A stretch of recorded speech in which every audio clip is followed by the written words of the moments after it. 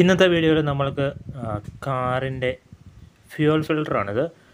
ടാറ്റ നാനോയുടെയാണ്. മിക്കവാറും എല്ലാ വണ്ടികൾക്കും തന്നെ ഫ്യൂവൽ ഫിൽറ്റർ ഉണ്ടാകും അപ്പോൾ ഞാനിതൊരു അൻപതിനായിരം കിലോമീറ്റർ ആയതിനു ശേഷമാണ് ഫ്യൂൽ ഫിൽറ്റർ വാങ്ങുന്നത്. വണ്ടിക്ക് ചെറിയൊരു സ്റ്റാർട്ടിംഗ് പ്രോബ്ലം ഉണ്ടായി. അപ്പോൾ ഞാനത് മാറ്റി നോക്കിയതാണ്. അപ്പോൾ ഇത് മാറ്റിയപ്പം ഏറെക്കുറെ പ്രോബ്ലം എല്ലാം സോൾവ് ആയിട്ടുണ്ട്. അപ്പോൾ നമ്മൾക്കിത് കട്ട് ചെയ്ത് നോക്കാം. അപ്പോൾ ഇത്തേക്കുണ്ടോ കണ്ടോ? ഇതിന്റെ നമ്മൾക്ക് സ്വന്തമായിട്ട് മാറ്റാവുന്നതേ ഉള്ളൂ. വണ്ടിയുടെ അടിഭാഗത്തുണ്ടാവും ഈ സാധനം. നമ്മൾക്ക് കാണത്തക്ക രീതിയിലാണ് വെച്ചിരിക്കുന്നത്. അപ്പോൾ ഇതിലെ ആരം ഉണ്ടാവും. ഇത് ഇന്നാണ് ഇത് ഔട്ടാണ്. അതേപോലെ തന്നെ ടൂ വീലറിനൊക്കെ കാർബറേറ്ററിന്റെ അകത്ത് പൊടികളൊക്കെ കയറുന്ന അതേപോലെ കയറിയതിന് ശേഷം ക്ലീൻ ചെയ്യേണ്ടതായിട്ട് വരും. അങ്ങനെയൊക്കെ ആകാതിരിക്കാൻ വേണ്ടി നമുക്ക് ടൂ വീലറിന്റെ ഇതിന്റെ ചെറുത് കിട്ടും. അതിന് ഇരുപത് രൂപ മാത്രം. അത് വാങ്ങിച്ച് നിങ്ങൾക്ക് നിങ്ങളുടെ ടു വീലറിന്റെ കാർബറേറ്ററിലോട്ട് പോകുന്ന ഫ്യൂൽ പൈപ്പ് ഒന്ന് കട്ട് ചെയ്ത ശേഷം ഇൻസേർട്ട് ചെയ്ത് കൊടുക്കാവുന്നതാണ്. വെറും ഇരുപത് രൂപ മാത്രമേ ഉള്ളൂ.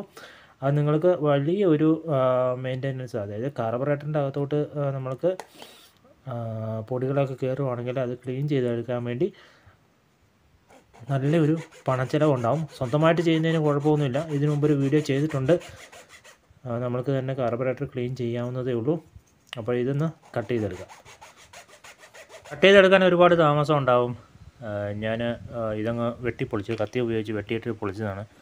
അപ്പോൾ ഇതാണ് ഇതിന്റെ ഉള്ളിൽ ഇതാണ് പേപ്പർ ഫിൽട്ടർ നമ്മുടെ സാധാരണ ഓയിൽ ഫിൽട്ടറും എയർ ഫിൽറ്ററിന്റെ ഒക്കെ അകത്ത് കാണുന്ന രീതിയിൽ തന്നെയാണ്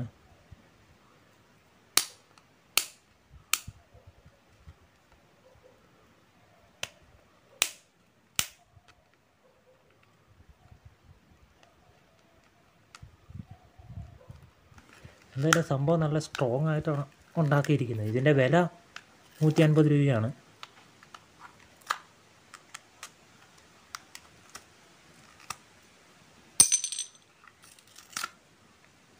നോക്കുക ഇതിന്റെ പേപ്പർ ഫിൽട്ടർ മൊത്തത്തിൽ നല്ല കരി പിടിച്ചിരിക്കുകയാണ്.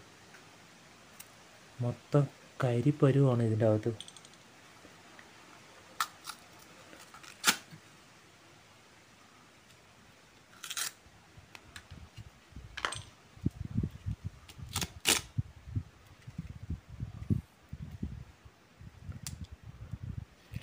പുറമേ നിന്നായിരിക്കണം ഇന്ന്. ഉണ്ടോ ഇന്ന് വരുന്ന ഭാഗത്ത് മൊത്തം കാര്യമാണ്. ഇത് ഔട്ടായിരിക്കണം അപ്പോൾ ഇത് തുറന്നു നോക്കാൻ കാരണം ഇതിന്റെ അകത്ത് എന്താണ് പരിപാടി എന്ന് അറിയാൻ വേണ്ടിയാണ്. അപ്പോൾ ഇത് പേപ്പർ ടൈപ്പാണ് അപ്പോൾ ഈ ഫ്യൂൽ ഫിൽറ്റർ എന്ന് പറയുന്ന സാധനം വളരെ ഇമ്പോർട്ടന്റ് ആണ്. നമ്മൾ എയർ ഫിൽറ്ററും അതേപോലെ തന്നെ ഓയിൽ ഫിൽറ്ററുമാണ് മിക്കവാറും ചേഞ്ച് ചെയ്യാറ്. അപ്പോൾ ചെറിയ വിലയാണ് ഇതിനകത്തുള്ളൂ. ഇത് നോക്കുക. നല്ല കട്ടിയിൽ ഇതിന്റെ എല്ലാ പേപ്പർ മൊത്തമായിട്ട് അടഞ്ഞിട്ടുണ്ട്. അതുകൊണ്ട് തന്നെ നമ്മൾ ഒരു ഇരുപതിനായിരം നിങ്ങൾ ഓരോ പ്രാവശ്യം സർവീസ് ചെയ്യുമ്പോൾ ഇതിനൊക്കെ ചെറിയ വിലയാകത്തുള്ളൂ അപ്പോൾ ഓരോ പ്രാവശ്യം സർവീസ് ചെയ്യുമ്പോൾ നമ്മൾ ഫ്യൂൽ ഫിൽറ്ററും കൂടി ചേഞ്ച് ചെയ്യുകയാണെങ്കിൽ വളരെ നന്നായിരിക്കും. ചില സാഹചര്യങ്ങളിൽ ഇത് മൊത്തമായിട്ട് ബ്ലോക്ക് ആകുകയാണെങ്കിൽ വണ്ടിയുടെ പിക്കപ്പ് അതേപോലെ തന്നെ സ്റ്റാർട്ടിങ് ട്രബിളാണ് മെയിനായിട്ട് ഉണ്ടാകുക അതേപോലെ തന്നെ ഇതിനകത്തൂടെ നമുക്ക് പെട്രോൾ പമ്പിൽ നിന്ന് വരുന്ന മോട്ടറിന് കൂടുതൽ പ്രഷർ എടുക്കേണ്ടതായിട്ട് വരും. ആ സാഹചര്യങ്ങളൊക്കെ വരുമ്പോൾ വണ്ടിയുടെ ഫ്യൂൽ പമ്പ് അത് അടിച്ചു പോകാനുള്ള സാധ്യതയും ഉണ്ട്.